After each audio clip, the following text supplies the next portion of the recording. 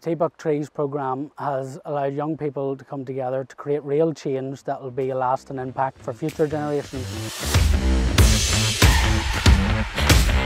The T:BUC Trees project is an opportunity for young people from both communities to come together and learn about the environment and learn about the natural world around them. We've got opportunities to plant trees um, and make friendships. There are 150 native species of trees planted in this area by young people, which specifies that no matter who you are or what background you come from, we can all live together in a safe space.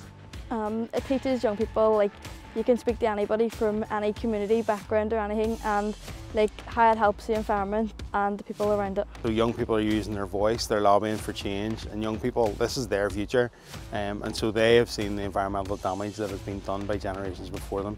So this is their opportunity through T:BUC Trees to be able to make a real difference. I think the environment is very important because it's everything around us and we need to protect it for ourselves and our future generations. Young people understand that, that um, the planet is really on a knife edge at the moment and so young people really want to um, get out there and make a change and this is this is some of the projects that can actually make that happen. It has taught me the importance of protecting our environment and it's helped me learn different team building skills. I think projects like this are so important because it allows young people to get more involved within their own community. This is a regional project so Uh, it gives young people to become more connected with young people from across Northern Ireland. It brings people from all different backgrounds together and makes them work together as a team. Having opportunities like this where young people can come together from different communities, so for example the Uniting Communities programme that we're running, we have young people that are from around the world involved in the programme that are living here in Belfast.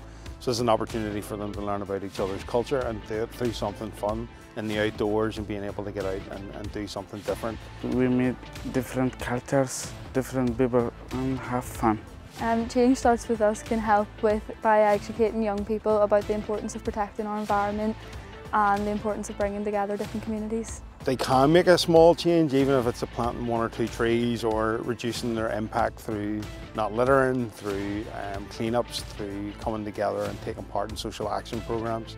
This is where this programme makes a real difference where young people really can get physically involved in doing and making their own small part in their own small change. It's a testament to the work of colleagues not only within TU but uh, through our T:BUC Ambassadors programme and it's an example of what can be done uh, very, very quickly and it's an example where good relations work has led to other impacts and in this case it's a, it's a positive environmental impact uh, right in the heart of, of government property and it's fantastic to see.